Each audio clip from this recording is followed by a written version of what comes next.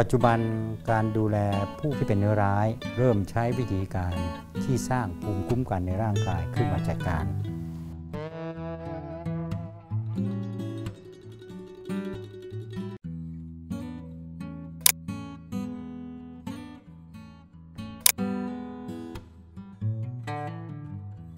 การใช้วิธีเคมีบำบัดหรือรังสีบำบัด สามารถจัดการกับเนื้อร้ายได้จริงแต่เพียงระยะสั้น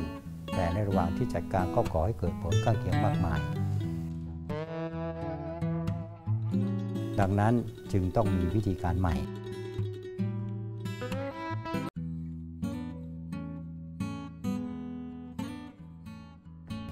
ปัจจุบันการใช้ภูมิกันบำบัดในแพร่กระแสหลัก เริ่มเกิดผลแล้วก็มีการใช้ได้ในร้ายบางชนิด แต่หลาย ๆ ชนิดก็ยังอยู่ในระหว่างการพัฒนา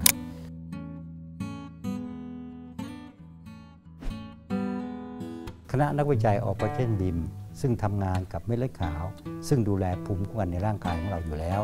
ก็มีสูตรสูตรหนึ่งซึ่งสามารถกระตุ้นภูมิคุ้มกันในร่างกาย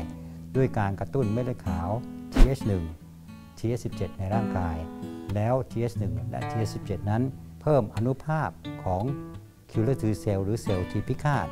ซึ่งมีหน้าที่ตามธรรมชาติอยู่แล้ว ไปให้ไปจัดการกับเซลล์ผิดปกติในร่างกาย เม็ดเลือดขาวเซลล์ทีพิฆาตหรือ Killer T cell ที่กระตุ้นขึ้นมานั้น จะจับเกาะติดกับเซลล์ที่เป็นเนื้อร้าย แล้วก็พ่นสารที่ย่อยสลายโปรตีน